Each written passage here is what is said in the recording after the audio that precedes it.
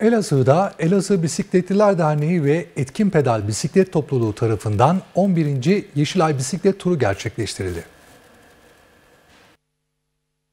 Elazığ'da 11. Yeşilay Bisiklet Turu gerçekleşti. Sağlığın keyfini birlikte sürelim sloganıyla düzenlenen bisiklet turuna Elazığ Bisikletliler Derneği ve Etkin Pedal Bisiklet Topluluğu olmak üzere yaklaşık 50 kişi katıldı. Cumhuriyet Meydanı'nda bir araya gelen bisikletliler sağlıklı hayata dikkat çekmek için yaklaşık 10 kilometre pedal çevirdi.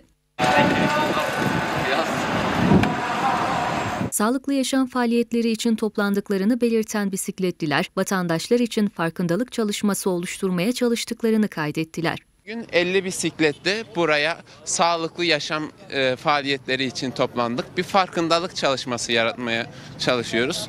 Yeşilay'ın öncülüğünde burada bir bisiklet turu yapacağız. Yaklaşık 10 kilometre bir rotamız var. Şu an e, 50 bisikletli bir araya geldik. Yeşilay'ın e, farkındalığını arttırmaya çalışıyoruz. Özellikle Gazi Caddesi'nde toplanmak istedik. Farkındalığı en yüksek burada yaratabileceğimizi düşündük.